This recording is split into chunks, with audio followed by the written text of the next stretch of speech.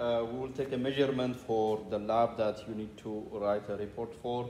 So we have here um, a DC uh, power supply and I have set the current coming from this um, source to 5 amps. So this current comes out of this source and goes through the ammeter and from the ammeter it goes into this long wire. So when the current passes through this wire, you get a magnetic field uh, produced and that current goes down here and it goes back to the source here. So it's a long, a long uh, wire relatively. So I'm gonna take the measurement of the magnetic field um, east and west uh, at one centimeter, uh, one centimeter, two centimeter, uh, three centimeter, four, five, and six centimeter. So uh, using uh, the magnetometer or the Gauss meter. All right, so let's take that measurement. Is one centimeter.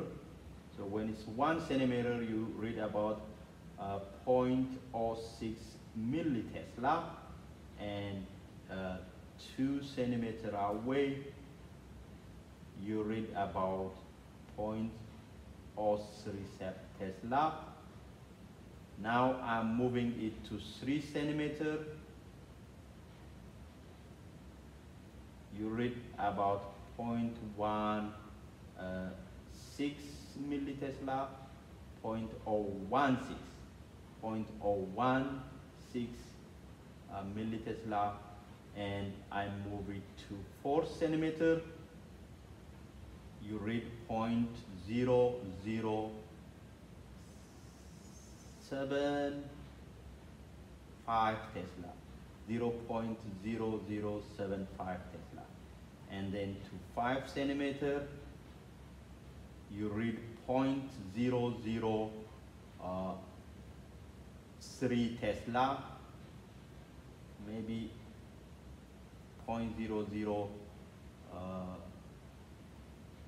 yeah 0.003 Tesla. Let's say that and the last one is at 6 a centimeter um, well that's almost zero uh, or you get negative 0 0.0 uh, 0 1 and you need to explain why we get a negative value at this position. Remember, uh, we are measuring also the Earth's magnetic field superimposed on the magnetic field of the uh, current passing through this wire.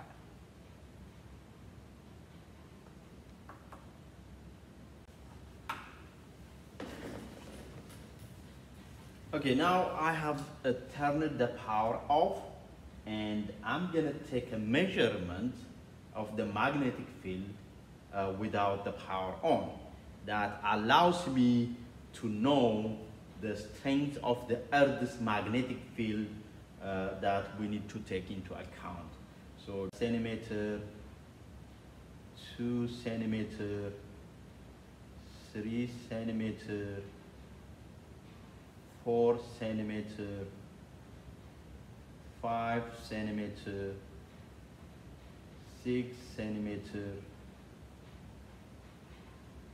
So what you have read there, it gives you an estimate of the Earth's magnetic field uh, that's added or superimposed to the magnetic field of the uh, uh, current passing through the wire.